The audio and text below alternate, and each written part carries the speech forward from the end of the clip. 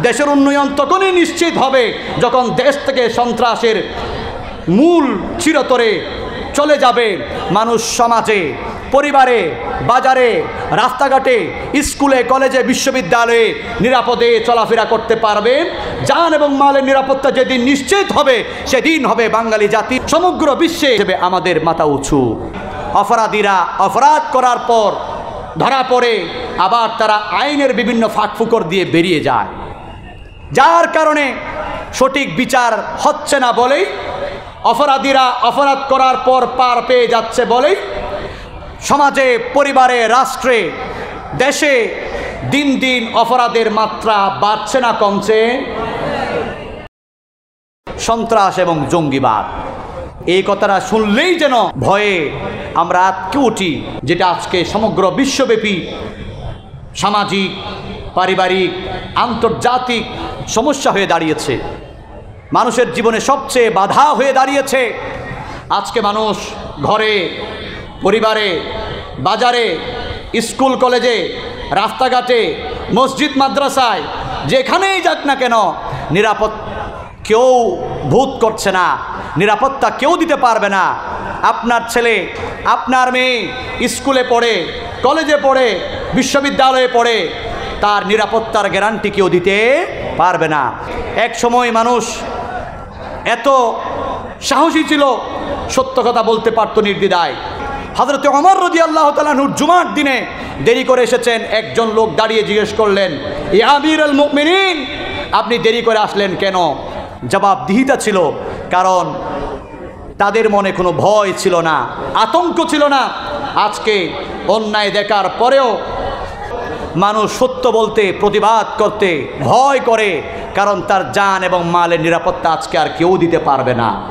Rapid action battalion RAB cobra চিতা police army BDR এত কিছু থাকার পরেও বিচার বিভাগ, প্রশাসনিক বিভাগ, আইন বিভাগ, গোয়েন্দা বিভাগ এত কিছুর পরেও আমরা দেখি অপরাধীরা অপরাধ করার পর ধরা পড়ে আবার তারা আইনের বিভিন্ন ফাঁকফুকর দিয়ে বেরিয়ে যায়। যার কারণে সঠিক বিচার হচ্ছে না বলেই, অপরাধীরা অপরাধ করার পর পার পেয়ে যাচ্ছে বলেই, সমাজে, পরিবারে, রাষ্ট্রে, দেশে দিন দিন অপরাধের মাত্রা বাড়ছে না কমছে। এটা আর নতুন করে বলার অপেক্ষা রাখে না। আজকে মানুষ কোথাও নিরাপত্তা বোধ করছে না।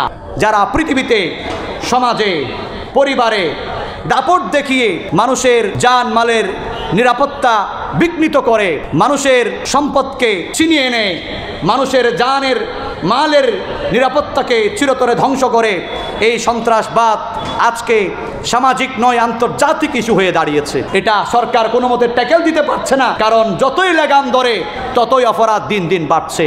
পত্রিকার পাতা, টেলিভিশনের পর্দা, খুললে এমন কোনো দিন নাই যেদিন হত্যা হচ্ছে না, খুন হচ্ছে না, রাহাজানি হচ্ছে না, দর্শন হচ্ছে না, ঘুষ এবং সামাজিক অসামঞ্জস্য একেবারে এমনভাবে শিকড় গজিয়েছে যেন লেগাম ধরার মতো পরিবেশ পরিস্থিতি নেই। সামাজিকভাবে, রাজনৈতিকভাবে, অর্থনৈতিকভাবে প্রতিষ্ঠা লাভ করার জন্যে যারা সন্ত্রাসী, তারা গায়ের জোরে অস্ত্রের ভয় দেখিয়ে মানুষের মধ্যে আতঙ্ক সৃষ্টি করে, তাদের মূল মন্ত্র হচ্ছে মাইড ইজ রাইট আমি সবার সেরা, কথা বলবি তো টেনে দেব। অন্যায় করার পরেও, চোখে দেখার পরেও, জানার পরেও আজকে মানুষ প্রতিবাদ করতে পারছে না। কারণ, প্রতিবাদের মুখ বন্ধ হয়ে গেছে, পরিবেশ, পরিস্থিতি এমন হয়েছে, প্রতিবাদ করলেই হত্যা, গুম, আপনার সঠিক বিচার আপনি পাবেন না। এরকম একটা পরিস্থিতি বিরাজ করছে। আজকে বল প্রয়োগের মাধ্যমে আধিপত্য বিস্তার করে সন্ত্রাসীরা বুক ফুলিয়ে দাপটে তারা চলাফেরা করছে। আর মানুষ তাদের নিরাপত্তা হারাচ্ছে।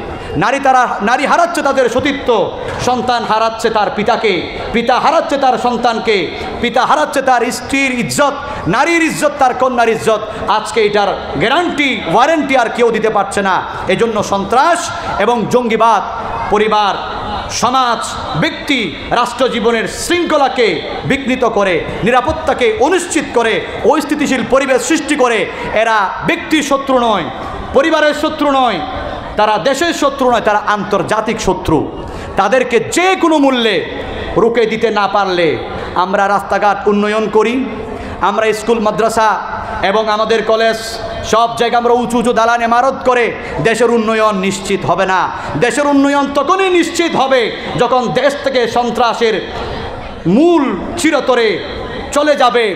মানুষ সমাজে, পরিবারে, বাজারে, রাস্তাঘাটে, স্কুলে, কলেজে, বিশ্ববিদ্যালয়ে নিরাপদে চলাফেরা করতে পারবে। যান এবং মালের নিরাপত্তা যেদিন নিশ্চিত হবে, সেদিন হবে বাঙালি জাতি নয় শুধু সমগ্র বিশ্বে। মুসলমান হিসেবে আমাদের মাথা উঁচু। কথা বলেন ঠিক কিনা? রসুল করিম সাল্লাহ সাল্লাম আজকে থেকে দেড় হাজার বছর আগে কদমের নিচে ভুলুণ্ঠিত করে পৃথিবীতে শান্তির পতাকা স্থাপন করেছেন। অনেকেই বলেন যে ইসলামে এটার কোনো প্রতিকার আছে কিনা? মধ্য থেকে উত্তরণের কোনো উপায় আছে কিনা? রসুল কোনো অবদান রেখেছেন কিনা? প্রিয় ভাইয়েরা আমার, প্রিয় সঙ্গী সাথীরা আমার কণ্ঠে আমি বলতে চাই, নবী মোহাম্মদ রসুল্লাহ সাল্লাহ সাল্লাম তিনি একজন শুধু নবী নয়, তিনি একজন সমাজ সংস্কারক, তিনি এমনভাবে সমাজকে প্রতিষ্ঠা করেছেন, যে সমাজের মধ্যে ছিল না হত্যা, রাহাজানি, খুন, দুর্নীতি, কিছুই ছিল না, সুন্দর সোনার সমাজ রসুল করিম সাল্লাহ সাল্লাম কয়েম করেছে। আল্লাহর হাবিব রহমাতুল্লাহ আলমিন যার ব্যাপারে আল্লাহ রব্বুল আলমিন ঘোষণা দিলেন وما أرسلناك إلا رحمة للعالمين يا رسول الله যতটুকুন জগতের জন্যে আমি রব আমি যতটুকুন জগতের মালিক প্রতিপালক ততটুকুন জগতের জন্যে আপনি নবী রহমত জোরে বলুন সুবহান আল্লাহ রসুল আকরম সাল্লাহ সাল্লাম শান্তির বাণী নিয়ে, মুক্তির বাণী নিয়ে এমন সোনার সমাজ রসুল করিম সাল্লাহ আলাইসাল্লাম কয়েম করলেন যে সমাজে ছিল না কোনো দুর্নীতি, কোনো অন্যায়, হত্যা, রাহাজানি। রসুল আকরাম সাল্লাহ সাল্লাম তিনি এমন নবী যিনি দেড় হাজার বছর আগে মানবাধিকারহীন পৃথিবীতে সাম্যের ডাক দিয়েছেন, ঐক্যের ডাক দিয়েছিলেন। ঐক্যের ডাক দিয়ে প্রতিষ্ঠা করেছিলেন সর্বোচ্চ মানবাধিকার।